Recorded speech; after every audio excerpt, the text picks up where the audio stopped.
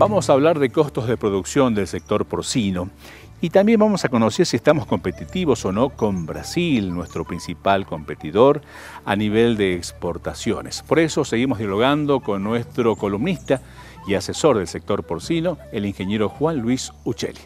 Hay una realidad, el costo de producción, yo te digo que es competitivo y estamos hablando de un costo de producción que tiene que estar entre un, y voy a hablar en dólares, ¿eh? un dólar para porque con la inflación que tenemos es muy difícil hablar en pesos. Estamos hablando de un dólar con 10, un dólar con 20, y el precio de venta histórico de los últimos años fue un dólar, de los últimos 22 años fue un dólar con 30, y de los últimos 10 años fue un dólar con 40.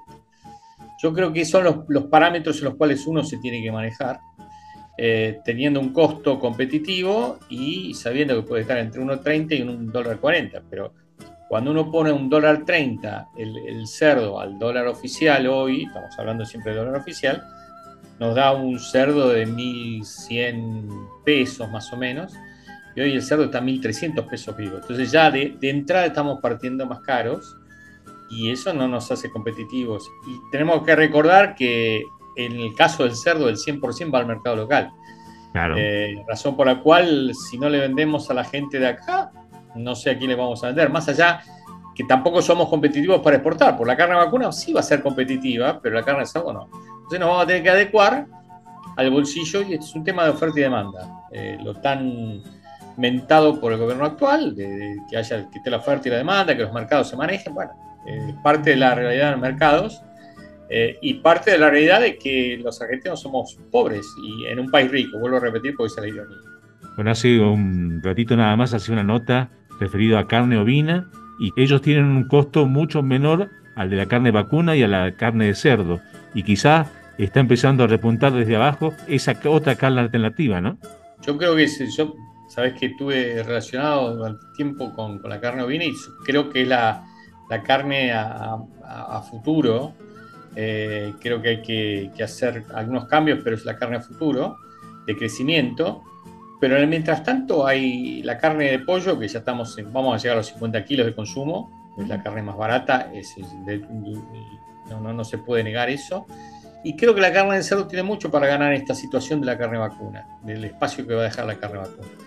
Y ahí es donde uno tendría que apostar, pero siempre bajado la realidad, o sea, no, no pidiendo locuras, porque cuando uno pide locuras, siempre hay otro, otra cosa que se consume que en este momento tan difícil puede ser que no sea carne. Entonces terminamos con los, zapallitos, con los fideos, con alguna otra cosa más barata, eh, o compramos un hueso para hacer un guiso. Entonces esa es la triste experiencia que uno tendría que ser coherente y ver el mercado en su totalidad, no en una sola fracción. Y acá no estoy diciendo que hay que perder plata, porque no, es un negocio y uno tiene que ganar plata, pero muchas veces es preferible ganar menos plata en más tiempo que mucha plata en un tiempo, corto y después perder mucha, mucha plata en mucho tiempo. Así es. Ingeniero ha sido realmente muy amable y ojalá que este tipo de, encuentros se produzca dentro de poco tiempo y podamos seguir informando a la gente acerca de lo que acontece en el sector. Como no, Jorge, bueno, un saludo y el mejor de los deseos, para todos los argentinos, porque los argentinos sí nos merecemos un país mejor, eh, más allá de los políticos. Sí, eh, no somos la casta, eso seguro.